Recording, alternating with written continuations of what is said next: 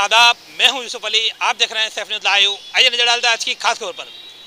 दोस्तों, इस समय हम खड़े हैं वसई के मानिकपुर पुलिस स्टेशन में। मेरा भाईंदर वसई विरार आयुक्तालय की हद में आने वाला है माणिकपुर पुलिस स्टेशन, आज इसने कुछ ऐसा किया है कि जिसकी चर्चा सामने आ रही है। दरअसल, तीन तारीख को, तीन जनवरी को रात के साढ़े बारह बजे, इस माणिकपुर पुलिस स्टेशन की हद के एक गाँव से तीन नाबालिग बच्चियाँ अपने घर से गायब हो जाती है। तीन नाबालिग बच्चियाँ जब गायब हो जाती है, तब पुलिस को उसकी शिकायत मिलती है दूसरे दिन, उसी दिन अगली सुबह सुबह पाँच बजे। और जैसे ही पाँच बजे पुलिस को शिकायत मिलती है, पुलिस एक्टिवेट हो जाती है और एक अपहरण का मामला दर्ज कर कर, पुलिस उस अपहरण के मामले का खुलासा करने के लिए अपनी जी जान से कोशिश लगाने करनी शुरू कर देती है।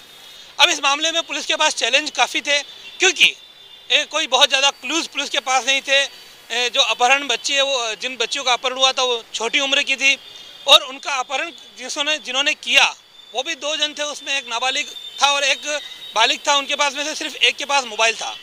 पुलिस की अपनी एक सिस्टम होती है, उसका अपना एक तपास का अपना तरीका होता है, वो तरीका पुलिस ने अप्लाई किया, उन्होंने तांत्रिक टेक्निकल, टेक्निकली डिटेक्ट किया और उसमें डिटेक्शन टीम को ये कामयाबी मिली कि उन्होंने ये पता लगाया कि कहीं ना कहीं ये मूवमेंट कर रहे हैं, रेलवे से कहीं गए हैं। घर से रात को बच्चे निकले, उनको रिक्शा नहीं मिला तो वो पैदल पुलिस रेलवे स्टेशन पहुँचे। वहाँ से उन्होंने सुबह की गाड़ी पकड़ी, मुंबई गई, उतना क्लू पुलिस को सीसीटीवी की मदद से उनको मिला। आखिर में आकर पुलिस को ये पता लगा कि एक बार मुंबई जाके वापस जब ये मुंबई से नाला सुपर आए, रिटर्न। और नाला सुपर आने के बाद अभी मुंबई से नाला सुपर आए, उसके पीछे का भी कारण था कि मुंबई में इनको कहीं पे रुकने का, कहीं ठिकाना नहीं मिला तो उनको नाला सुपर आना पड़ा। जब नाला सुपारा आए तो नाला सुपारे से रिक्शे की मदद से ये नाला सुपारा में ट्रेन से उतरे, रिक्शे की मदद से वसई फाटा गए और वहाँ से ये चलते हुए निकले। अब यहाँ आकर पुलिस के पास कोई क्लू नहीं था। लेकिन पुलिस का अपना स्किल, कि पुलिस ने अपने स्किल स्किल को वहाँ पर अप्लाई किया और वहाँ से चलते चलते, वसई फाटा से चलते चलते, ढाई तीन घंटे का सफ़र तय करते हुए, पैदल चलते हुए डोंगर पर गए तुंगारेश्वर का। वहाँ उनको क्लू मिला और वहाँ आखिरकार जो एक उसमें नाबालिग बच्चा था, उसकी नानी के घर से ये बच्चे पाँचों जन, जो तीन लड़कियाँ थी वो और दो लड़के, पाँचों पुलिस को सही सलामत बरामद हुए। वहाँ से पुलिस ने इनको बरामद करने के बाद में इनकी जाँच पड़ताल की गई और इनसे पूछताछ की गई तो किसी भी तरह की उन लड़कियों के साथ में किसी अप्रिय घटना की जान कोई कोई पुष्टि नहीं हुई और लड़कियों ने खुद ये माना कि उनके साथ में किसी तरह की अप्रिय घटना नहीं घटी। ये काफ़ी बड़े, बड़ा पॉइंट इस चीज़ में है। इसके बाद में, जैसा कि हमने पहले बताया, एक जो है, वो आरोपी वो व्यस्क था, उसके ऊपर पुलिस ने गुना दाखिल किया है, उसको कोर्ट में हाजिर किया है, और पुलिस ने अब उससे जाँच आगे की जा रही है। इस बारे में हमने Vasai police station Manikpur police station के पीआई राजू माने साहब से बात की, वो आप आगे आगे देखिए वीडियो में क्या कुछ उनका कहना है और क्या कुछ उन्होंने इसका खुलासा किया। अभी के लिए इतना ही, वसई से यूसुफ अली। सर छः तीन तारीख को एक गुना दाखिल हुआ था किडनैपिंग का क्या उसकी डिटेल है? हाँ, तीन तारीख को रात के साढ़े बारह बारह बजे के करीब तीन लड़के और दो लड़के अपने घर से निकल गए थे। और वो आ, लोकल एरिया में हमने पूरे कैमरे जो रास्ते से जा सकते हैं वो कैमरे देखे। उसके बाद रेलवे की तरफ़ गुजरते हुए दिख दिखने में आया वो। वो सब कैमरे चेक करते वक्त और एक लड़के के पास जो मोबाइल था उसका सीडीआर भी हमने एनालाइज किया। तो सी में मालाड का एक रेलवे का ही लोकेशन आया था तो फिर हमने रेलवे स्टेशन पे फोकस किया, दादर से लेके विरार तक। इस सब कैमरे चेक किए। उसमें नाला सुपारा में वो लड़कियाँ उतरते हुए दिखाई दी।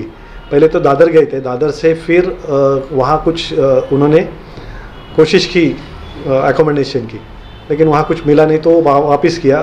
वापस बोरेली की तरफ़, वहाँ से बोरेली से फिर विरार ट्रेन विरार से जो ट्रेन पकड़ी विरार तक आ रही थी, उसमें से दिखाई दिया कि वो नाला नाला सोपारा में ईस्ट की तरफ़ उतर के निकल गए।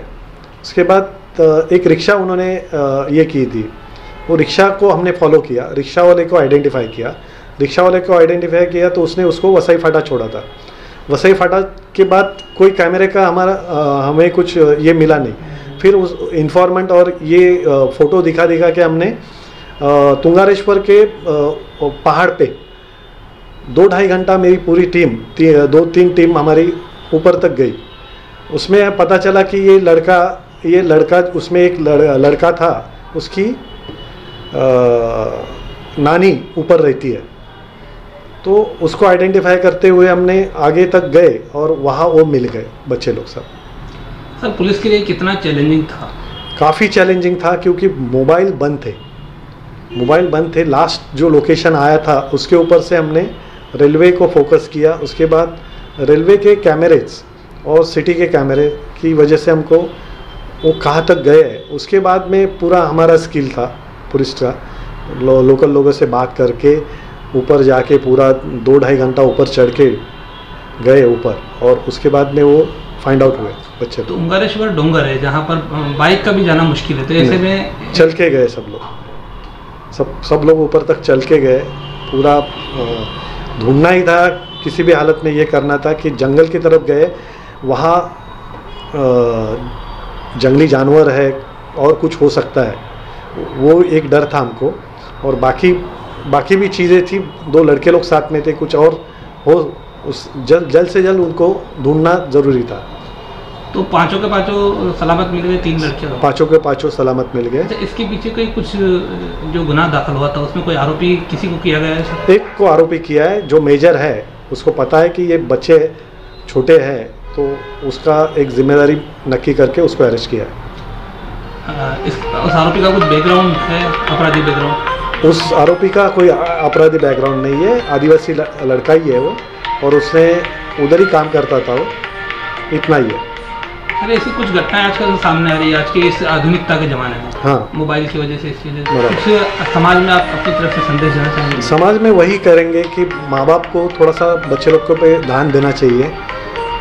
लड़की लड़कियाँ क्या कर रही है? मोबाइल में क्या देख रही है? क्या कर रही है? किससे ज़्यादा बात कर रही है? इनके दिमाग में क्या चल रहा है? थोड़ा सा ध्यान देंगे तो ये सारी घटनाएँ नहीं होंगी। एफ़ न्यूज़ लाइव को आर्थिक रूप से मदद करने के लिए स्क्रीन पर दिखाई दे रहे गूगल पे बार कोड को स्कैन करें और हमें आर्थिक रूप से मज़बूत करें। धन्यवाद। हमारे चैनल सैफ न्यूज़ लाइव पर अपने व्यापार और सेवा से संबंधित विज्ञापन प्रसारण हेतु दिए गए मोबाइल नंबर पर संपर्क करें।